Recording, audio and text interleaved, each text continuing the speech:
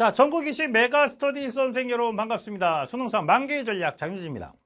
자, 오늘 캐스트는요. 오늘도 캐스트. 우리 매주 수능 캐스트 찍고 있어요, 요새. 자, 자, 매주 만나고 있습니다. 오늘 캐스트는 구평 채점 결과가 어제 나왔거든. 요거 보고서 여러분에게 다 까먹고 있을까봐 사실 구평 직후에 다 이해했을 텐데 까먹고 있을까봐 한번 환기시켜 드립니다.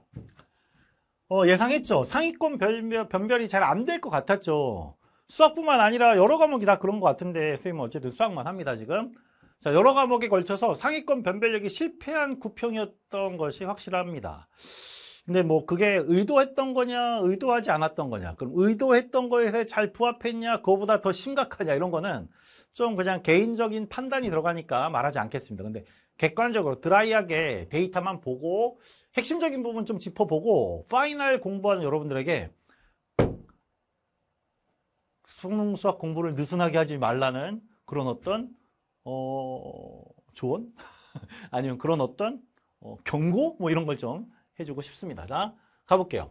2024학년도 구평과 2025학년도 구평, 그러니까 작년 구평과 올해 구평을 데이터로만 딱 이게 이제 평가원에서 발표한 그 누적 도수 분표예요. 맨 위에 있는 게 누굴까? 맨 위에 있는 게 미적분, 노란색 칠한 게 미적분에 어, 만점자의 누적 인원입니다. 자, 이건 누가 봐도 미적분 맞아요. 남자, 여자 합쳐가지고 2,500명. 어? 2,500명이면 이게 정시에 의치한 수, 요 정도 묶어놓은 것 서울대도 있고 뭐 또 스카이 대학들 아주 좋은 대학들이 있으니까 그걸 다 포괄한 것보다 어 이게 만만치 않게 비슷해요. 엇비슷해요. 그러니까 다 맞아야 좀 이렇게 갈 정도?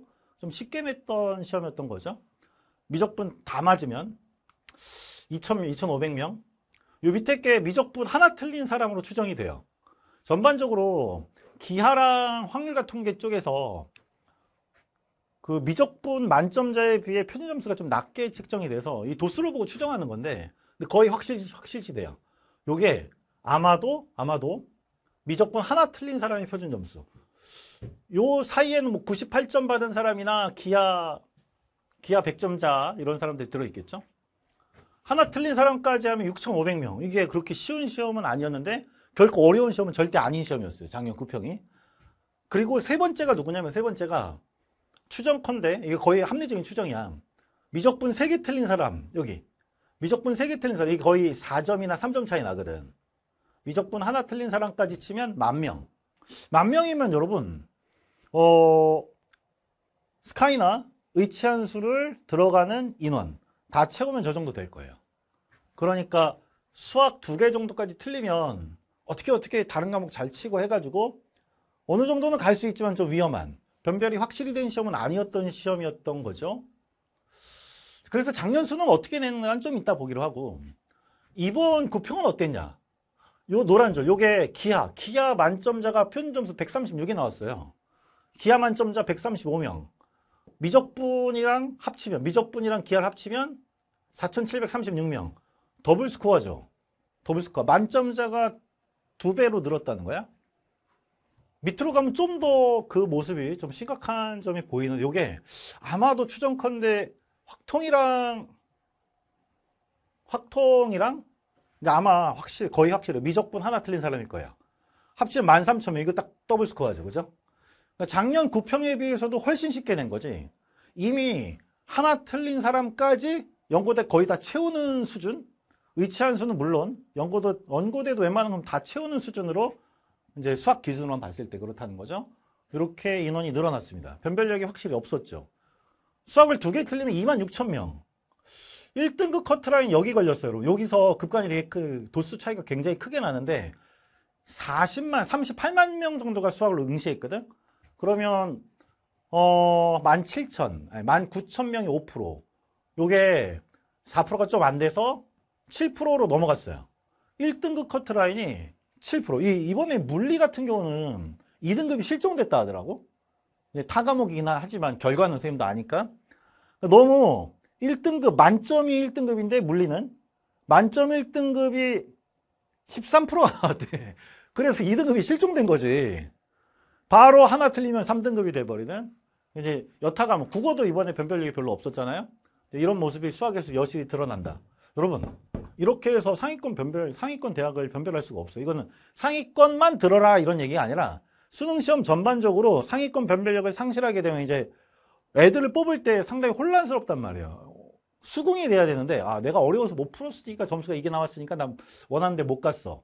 이렇게 나는 열심히 해서 이 점수를 기어이 따내고야 말았어. 이런 명확한 기준이 서지 못하면 상당한 정도의 스트레스를 모든 수험생들과 관계자들이 갖게 돼 있죠. 그러니까 평가원은 수능을 그렇게 만만하게 내지 않아요. 그리고 물수능으로 정말 의도치 않게 물수능으로 나온 적에 있었는데 그때는 여론의 질타와 함께 결국 평가원장님이 물러나기도 하고 이런 역사들이 다 있습니다. 그러니까 이번 수능을 결코 여러분 나이브하게 준비하시면 안 돼요. 아시겠죠? 결코 나이브하게 준비하시면 안 됩니다. 자, 작년은 그래서 수능을 어떻게 내나 한번 봅시다.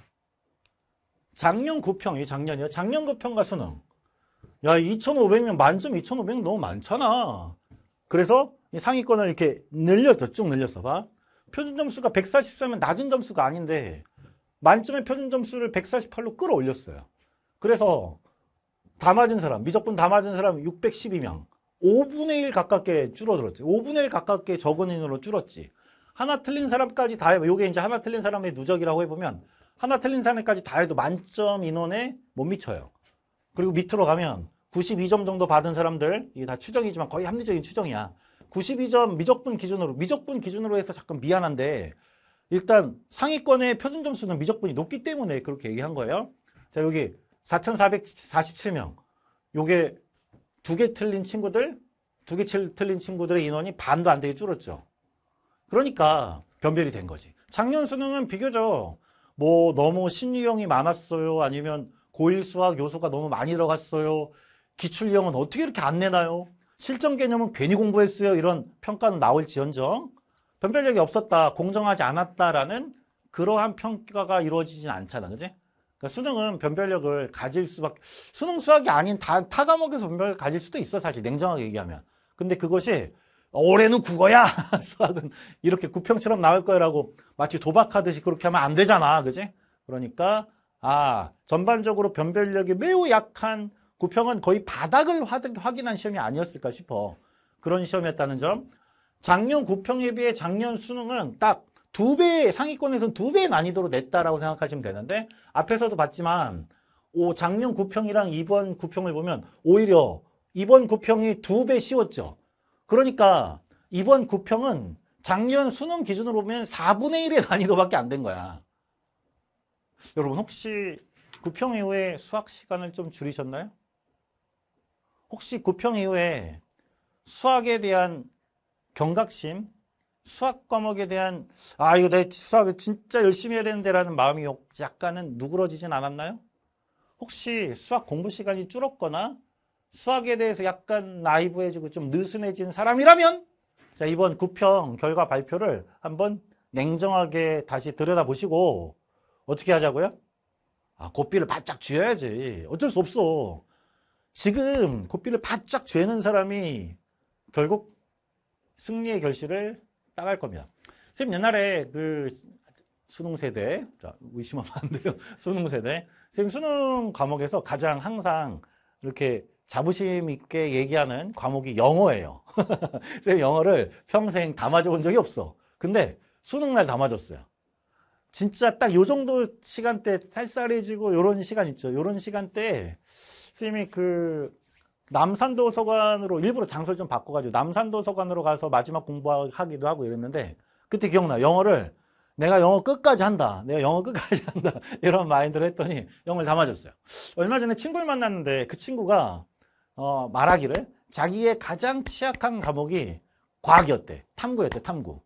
그 탐구를 끝까지 매달려가 탐구를 제일 잘 쳤대. 아, 이런 경우가 아주 빈번하게 일어난다니까. 그러니까 여러분, 수학 한시간만 늘리자. 알겠지?